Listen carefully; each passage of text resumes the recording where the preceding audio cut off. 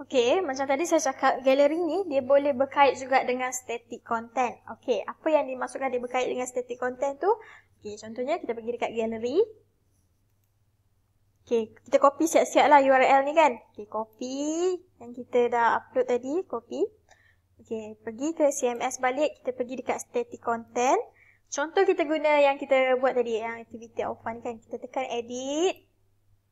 Okey, dekat dalam uh, content ni, uh, kita taiklah sikit. Contohnya uh, untuk muat turun. Uh, borang boleh klik link di bawah. Ok contohnya kita buat klik di sini. Ok klik di sini ni kita nak jadikan dia URL.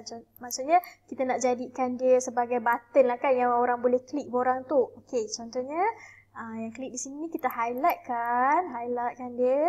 Kita pergi dekat uh, insert edit link ni. Okey, tekan. Okey, pastekan URL yang kita copy daripada gallery tadi. Paste.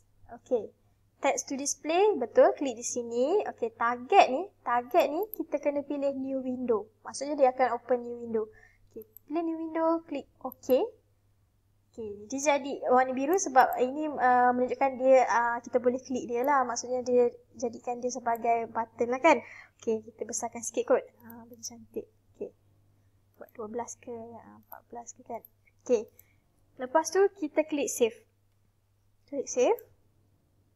Okay, dah klik save, kita linkkan balik uh, kita punya content ni, static content ni kepada create menu. Macam biasa, macam tadi. Okay, edit balik dekat attachment tadi. Tadi kita buat kat static content kan, jadi kita tick static content, ambil balik kita buat tadi, activity alpha tu, save. Okay, lepas tu, refresh website. Okay, kita tengok dekat bahagian attachment tadi jadi macam mana activity attachment. Okey, ah ini maksudnya kita boleh klikkan dia. Untuk buat turun borang boleh klik link di bawah. Maksudnya klik kat sini. Dia akan open new tab untuk downloadkan kita punya dokumen tadi. Okey. Untuk uh, menu seterusnya, kita ke video seterusnya.